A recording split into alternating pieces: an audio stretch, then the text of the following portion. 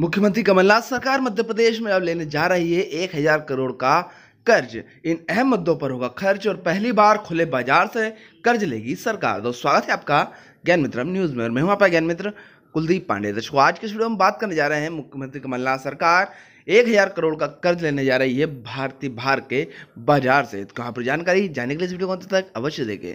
और यदि आपने अभी तक हमारे चैनल को सब्सक्राइब नहीं किया है तो इस तरह का अपडेट न्यूज़ सबसे पहले प्राप्त करने के लिए हमारे चैनल को सब्सक्राइब कर लें और साथ ही बेलाइकन दबा दें, जिससे इस तरह का अपडेट न्यूज़ आप तक तुरंत पहुँच पाए और आप उनसे लाभान्वित हो सकें। चलिए दोस्तों आज शुरू करते हैं आज का विषय और जान लेते हैं पूरे अपडेट को विस्तार से। दोस्तों, आपको बता दें कि मध्य प्रदेश का खजाना खाली पड़ा है और विकास कार्यों पर ब्रेक लगा हुआ है। अगले दो तीन महीनों में निकाय चुनाव होने हैं। ऐसे में वादों को पूरा करने सरकार फिर से कर्ज लेने की तैयारी में जुट गई है। खबर है कि किसान कर्ज माफ़ी से लेकर तमाम खर्चों को पूरा करने के लिए सरकार फिर से कर्ज लेने जा रही है। इस बार कमलनाथ सरकार खुले बाज़ार से एक हज़ार करोड़ रुपए का कर्ज उठाने जा रही है।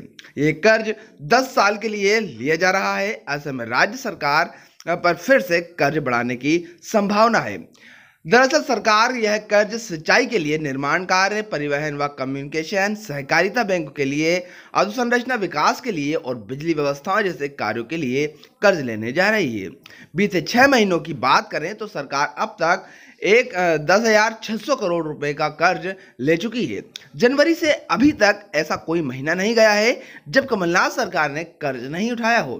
पिछली भाजपा सरकार पर कर्ज को लेकर सवाल उठाने वाली कांग्रेस अब इस कर्ज को विकास के लिए उठाने जाने वाला कर्ज बता रही है।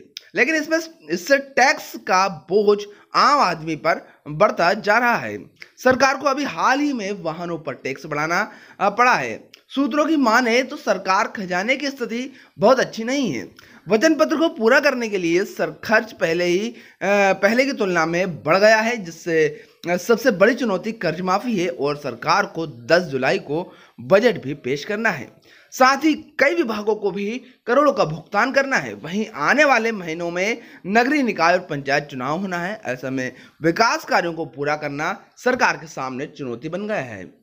ऐसे में सरकार फिर से कर्ज का सहारा ले रही है। बताया, बता दें कि सत्ता में आने के बाद से ही सरकार लगातार कर्ज ले रही है।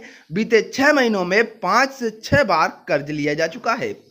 बीते महीने ही सरकार ने दो बार कर्ज लिया था। प्रदेश के कांग्रेस की सरकार बनने के बाद से ही अभी तक दस हज़ार छह सौ करोड़ रुपए का कर्ज लिया जा चुका है।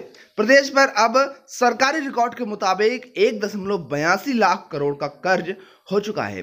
दर्शकों, हम इस पर लगातार अपडेट बनाए हुए हैं। जैसे कुछ नया अपडेट आता है, हम सबसे पहले आपको सूचित करते हैं। आशा करते हैं दर्शकों, आपको हमारा आज का विषय बस पसंद आया होगा। पसंद आया तो लाइक करें और अधिक लोगों तक शेयर करें ताकि सभी जानकारी से लाभान्वित हो सकें। और यदि आपने अभी तक हमारे चैनल को सब्सक्राइब नहीं किया है तो इस तरह का अपडेट न्यूज़ सबसे पहले प्राप्त करने के लिए हमारे ज्ञान मित्र न्यूज़ को सब्सक्राइब कर लें और साथ ही बेलाइकन दबा दें जिससे इस तरह का अपडेट न्यूज़ आप तक तुरंत पहुँच पाए और आप उनसे लाभान्वित हो सकें। दर्शकों, आज के इस वीडियो में बताएँ हम फिर हाजिर होते हैं नए विषय के साथ। जब तक के लिए जय हिंद, जय भारत, वंदे मातरम।